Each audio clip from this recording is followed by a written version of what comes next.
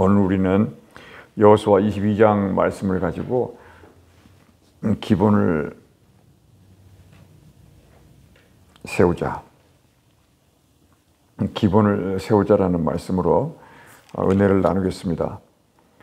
음, 우리의 기억에 많은 일들이 남아 있겠지만은 그 장세기부터 음, 신명기 지나서 이제 여호수아서에 들어왔는데 여호수아에서도 이제 거의 끝에 와 있습니다.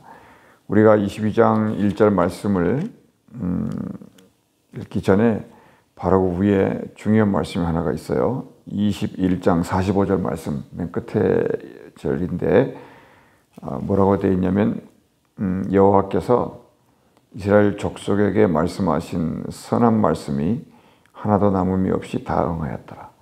이 말씀을 기록함으로써 아, 약속의 땅, 가나안 땅 그리고 하나님이 주시기로 맹세한 그 땅이 모든 역사가 끝났다. 이거를 이 45절, 21장 45절 이 말, 이 절서를 잊지 않는 게 좋아요. 21장 45절 이 말씀에 기록되어 있습니다. 그러니까 하나님이 어, 이스라엘 백성과의 어, 관계를 맺는 이스라엘 백성을 이렇게 택해 가지고 어, 왔는데 기본이라는 것이 뭐냐면 음, 하나님은 말씀하시고 백성은 따르는 이게 기본이라는 거죠. 하나님은 말씀하시고 백성이 따르는 오늘날에는 이렇게 말씀을 음, 우리가 읽고 어, 듣고 지키면서 따르는 어떻게 하면 말씀을 잘 따를까 이제 이거를 늘 우리 입장에서는 연구하면 되는 것이고 이제 그런 시간을 보내는 기본을 지키는 사이에 그 나머지를 하나님은 더 하신다. 이 시스템으로 우리를 도와주시는데 오늘이 이제 여기 요단강을 중심으로 해가지고 어 왼쪽 이쪽 서쪽 이쪽을 동쪽 이렇게 해서 그 지금 이쪽에 2와 2분의 1 이쪽으로 9와 2분의 1 그래서 12지파를 분배를 다 끝내고 땅 분배도 끝내고 이제 모든 점령을 다 끝냈어요. 이때 이스라엘 백성에게 주어진 복이 뭐냐면 아, 안식이었다. 이게 처음으로 이스라엘 백성들이 경험한 쉼이라고 하는 것을 경험한 거예요. 그러니까 하나님이 모든 주의를 평화롭게 하고 이제 그 땅의 일곱 족속을 다 몰아내고 모든 전쟁과 모든 전략과 모든 긴장과 모든 불안과 두려움과 뭐 공포와 이런 것들이 다 정리된. 그래서 성경은 여호수 와서 그러면 주제가 뭡니까? 이렇게 물어보면 안식입니다. 이렇게 말해요. 그런데 이제 또 다른 책이 있죠. 신약 성경의 히브리서에 가보면 히브리서 기자가 말을 합니다.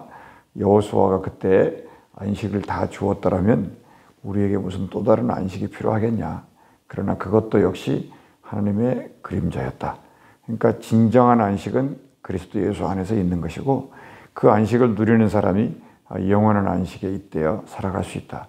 이와 같은 말의 근거가 오늘 여호수아가 우리에게 가르쳐 주는 겁니다.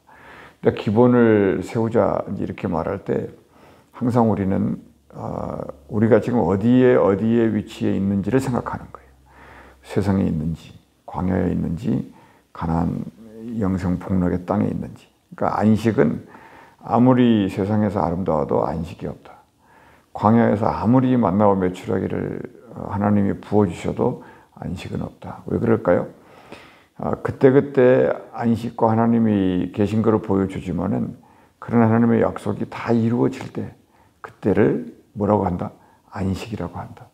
그러니까 우리는 이 안식을 우리가 회고해 보면은 기본이라는 게 안식일을 기억하여 왜 지킬까요?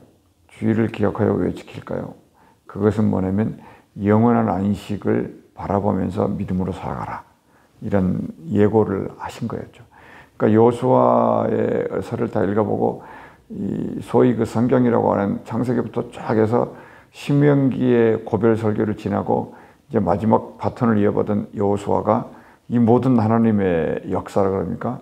이 하나님과의 그 관계 속에서 이루어진 모든 일인데 초점 하나는 아, 하나님의 말씀에 순종하면서 청종하는 게 제일 중요하다. 자 그러면 이제 우리에게 이제 무슨 일이 남느냐? 아, 간단하게 다시 정리를 하면은 어, 애굽은 세상이다. 이게 세상은 항상 우리를 유혹한다. 우리의 중심을 무너뜨리려고 한다.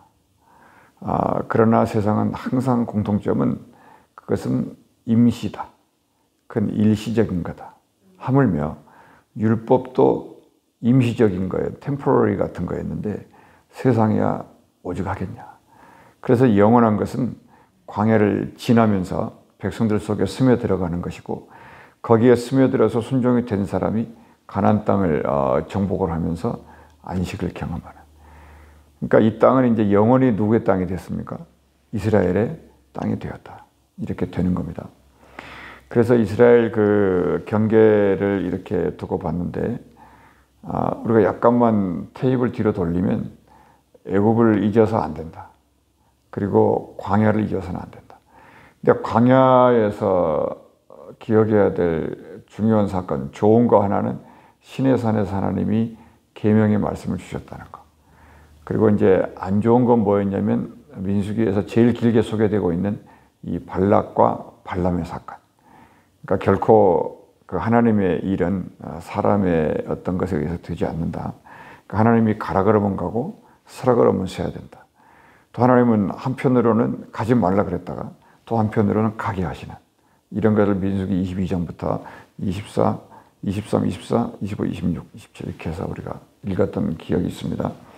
그리고 이제 어, 결정적으로 마음에 새겼어야 될 일이 뭐냐면 그, 그 이제 발람의 사건이 이제 부월 사건이라 그러는 것이고요. 그리고 또 하나 우리가 교훈 삼아야 될 거는 그 모세 선지자가 하나님으로부터 그 말씀을 듣죠. 어, 가난 땅을 정탐해라. 이렇게 한 말이 듣고 모세가 이제 열두 지도자를 뽑아서 정탐꾼을 보냈었는데 열 명의 정탐꾼은 그 현실을 보면서 있는 그대로 보고 있을 때 백성들의 마음이 다 녹아가지고 우리가 여기서 죽든지 애굽으로 가든지 하자. 모든 것을 잘못했으면은 원점으로 되돌리는 일이 생겼을 뻔했는데 거기에서 믿음의 지도자인 요수아와 갈렙이 그 청년 때, 그 젊은 날, 이제 갈렙의 나이는 40대였어요. 40, 딱 40인데 그 나이에 갈렙이 그래서 등장을 해서 모세와 모든 청중을 캄다운 시키고 이것은 하나님이 무조건 주신 땅이고 올라가서 우리가 이걸 치자. 이건 하나님의 약속이니까 이건 이루어진다. 이런 어떤 그 고비 고비를 넘기면서 오늘 여기 21장 45절 말씀에 여호와께서 이스라엘 족속에게 말씀하신 선한 말씀이 하나도 남음이 없이 다 응하였더라. 이렇게 됩니다. 그러니까 하나님은 좋으신 하나님이다. 이제 그런 근거가 이제 여기서 나오는 거예요. Good, God is good. 이렇게. 자, 그래서 이제 이제부터는 뭘 해야 되냐면 이 가나안 땅을 어떻게 해야 되겠어요? 메인틴 잘 지켜야 되잖아요. 그러니까 요한계시록에도 하나님의 말씀을 알았느냐 이렇게 물어보면서 잘 지켜라. 그것이 복이다. 이거 한 가지를 너희가 이 복이 뭔가 이거 한 가지를 알기 위해서 여기까지 왔다 그런 거예요. 그리고 요한계시록은 우리가 상상할 수 없는 환난과 어, 어려움과 고통과 이런 것들이 닥치잖아요. 근데 그 모든 것을 이길 수 있는 힘은 물론 사랑인데 그 사랑을 사랑으로 만들 수 있는 힘이 뭐였다? 하나님의 말씀, 주 예수 그리스도의 계시였다. 이렇게 이제 성경은 정리하고 마무리를 합니다. 자, 그러면 그게 무슨 얘기였냐면 이제부터는 어, 관리에 들어간다 그런가요? 우리께 됐으니까 이거를 지켜야 돼요. 이거를 관리해야 돼요. 관리하려면 계속해서 공급을 해야 된다. 그 공급이 5절 어, 말씀에 있는 거죠. 오직 여호와의 종 모세가 너희에게 명령한 명령과 율법을 첫째 반드시 행해라. 두 번째 여호와를 사랑해라. 그리고 세 번째는 지켜라. 그리고 하나님과 굉장히 친밀히 지내라. 친근하게. 그리고 너희 마음을 다해 성품을 다해 그를 섬겨라. 섬기라는 게 이제 예배하라. 이런 뜻입니다. 그러니까 이 말은 아, 폭포수가 쏟아지는 말이 아니라 어, 잔잔한 물가고 어, 시냇가에 심은 나무 같아요. 여호수아가 이제 다 이제 다 내려놓고 하나님 감사합니다. 이러면서 이렇게 이렇게 명령을 하고 백성들을 축복하고 이제 돌려보내는 그런 장면이에요. 음, 다시 이제 돌아옵니다. 뭘로 돌아오느냐? 요단강을 중심으로 해가지고 오른쪽에 두 지파 반, 왼쪽에 아홉 지파 반 이렇게 됐어요. 근데 어, 떻게 생각하세요? 이 후손들이 이런 생각을 할 거 아닙니까? 홍해를 넘어왔을 때 우리는 홍해 뒤로 돌아가지 않았다. 맞습니까? 근데 두 번째 강, 요단강을 건너왔을 때 우리는 요단강의 뒤로 돌아가지 않았다. 이게 아, 앞뒤가 맞는 말이잖아요. 아, 그런데 지금 음, 여기 루벤 지파하고 갓 지파하고 반 지파 요 세 지파가 지금 어디에 정착을 하고 땅을 분배를 받았냐면 요단강을 건넜는데 다시 요단강 이쪽 동쪽에다가 어, 자기들의 그 지파의 땅을 정리한 거예요. 근데 이것은 어, 지금 갑자기 일어나는 일이 아니라 근거가 있는 건데 어, 이들이 어, 요단강을 건너기 전에 여기에 정착했을 때 이제 여호수아에게 얘기를 합니다. 이 땅이 보기 너무 좋다. 그러니까 우리가 먼저 이 땅을 우리에게 주라. 근데 다만 조건이 뭐냐면 대신 우리가 요단강을 먼저 가가지고 이쪽에서 싸워서 모든 걸 끝나면 다시 우리가 돌아오겠다. 이제 이 약속을 한 거예요. 그러니까 그게 여호수아가 듣기에 좋아서 허락을 해줬던 땅이거든요. 그러므로 요 세 땅에 이렇게 있는데 아, 문하세와 루벤과 갓지파 이 형제들이 여호수아가 첫째 칭찬을 해요. 야 너네가 그 당시에는 차가 없으니까 요단강 거기가 3, 40m였다 하지 않습니까? 그때 폭이. 너희가 지금 여기에 가려면 거기를 건너갈 수도 없었고 이렇게 돌아서 이렇게 가는 땅이 됐을 거예요. 다리가 없으니까. 그러니까 어떻게 보면은 이런 말이 있잖아요. 몸이 떨어져 있으면 뭐도 떨어졌다고? 마음도 멀어진다고. 그러니까 같은 열두 지파에 있었지만은 몸이 떨어져 있고 요단강 건너편에 사는 이 두 지파 반하고 이들이 어떻게 보면은 어, 처음에는 교류가 활발할 수 있겠지만은 나중에는 점점 거리가 멀어지고 이렇게 돼요. 그 다음에 또 하나는 그 신명기 이제 12장 5절 말씀에 보면 이스라엘은 어, 성소는 딱 하나예요. 중앙 성소. 그러니까 모든 절기 때마다 그리 다 모여야 되고 모든 성소는 거기에 와야 돼요. 그러니까 강 건너에 멀고 힘들었다고 해서 이 지파들이 여기다가 성소를 가지고 있어서는 안 되고 재단을 쌓고 있어서는 안 되는 거예요. 그런데 소문이 나는 거예요. 거기에 에시라고 하는 어떤 그 재단을 쌓았더라. 그래서 이제 그 엘르아살이 어, 제사장이고 그 아들이 이제 비누아스 아닙니까? 이제 비누아스를 선발대로 해가지고 천부장들의 12명의 지파 중에 천부장들을 모아가지고 거기 조사하러 갔어요. 갔는데 아, 이건 굉장히 아름다운 스토리를 적어놓은 거예요. 저들이 몸 떨어져 있고 멀리 떨어져서 이렇게 경계를 만들고 이스라엘의 그 동맹 하나 이거를 지켜나가면서 자기들끼리도 가장 중요했던 건 뭐냐면 루벤과 그 다음에 가지파와 이 반지파들이 서로 싸우지 않았다는 거예요. 정말 같은 형제로서 너무너무 우애가 좋게 잘 지내면서 요단 동편을 지키고 있었다. 이거를 확인했고 그런데 그걸 지키면서 거기에 있는 에시라고 하는 재단 하나 쌓았는데 이건 뭐냐? 라고 이제 물어보는 거죠. 그러면은 잘못하면은 한 우상이 될 수 있는 것이고 잘못하면은 뭔가 형상을 세워놓고 지금 했다고 볼 수 있잖아요.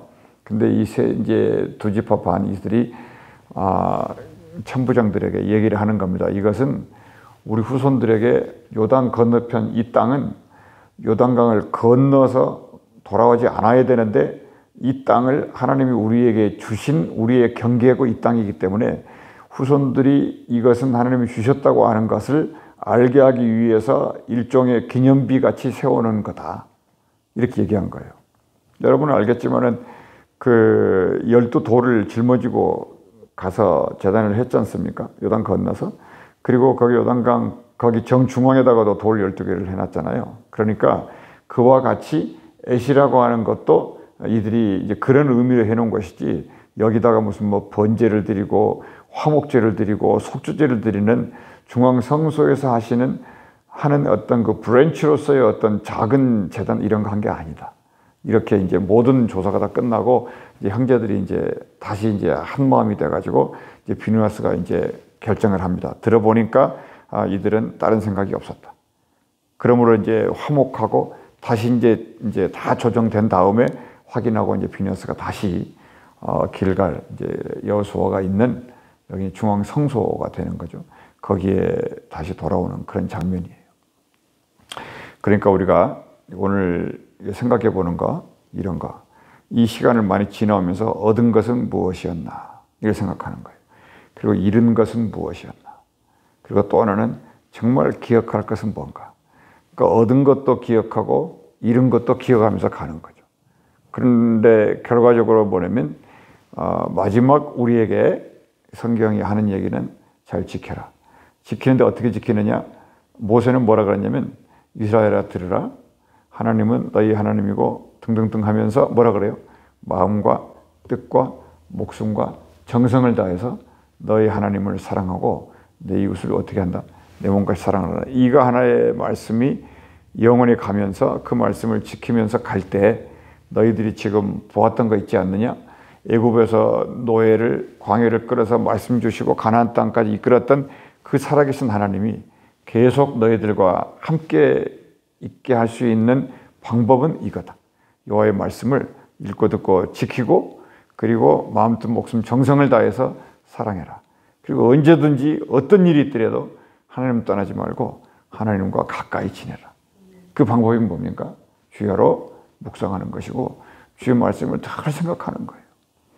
우리의 생각이 그런 식으로 계속 물들어가야 되고 이게 준비가 돼야 되고 점령이 될 때 이제 하나님의 나라의 그 환경에 적응할 수 있는 우리 몸이 된다.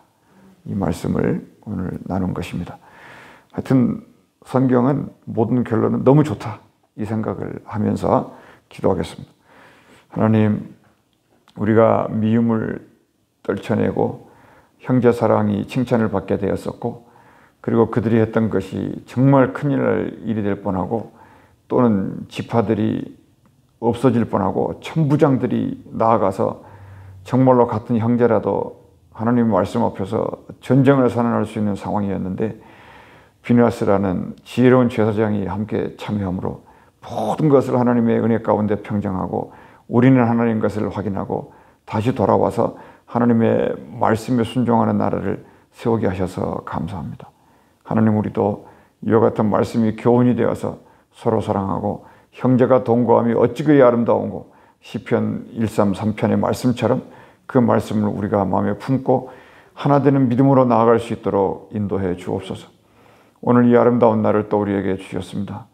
우리의 마음은 정말 날씨와 같이 왔다 갔다 하지만은 변치 않는 주님 붙들고 그곳에 한 걸음 한 걸음 다가갈 수 있는 강한 믿음과 담대함을 우리에게 허락해 주시옵소서. 주 예수 이름으로 기도하옵나이다. 아멘. 오늘 우리